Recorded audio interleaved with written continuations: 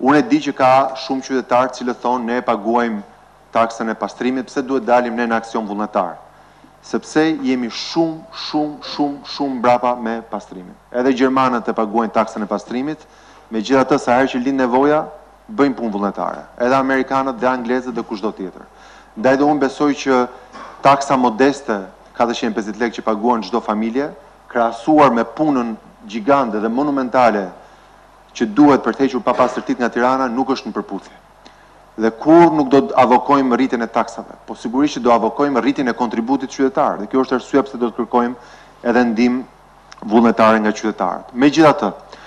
meqë jemi tek kompanitë, do i kërkoj të gjithë kompanive që kanë kontrata me qytetin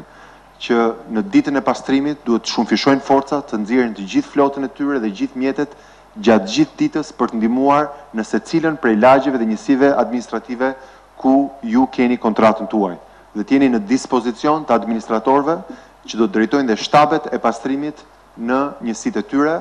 njëzet e katër orë. Pra nëqoftëse për qytetarët aksioni fillon orën nëntë dhe zgjat disa orë, për të gjithë kompanitë e pastrimit aksioni është njëzet e katër orë ditë,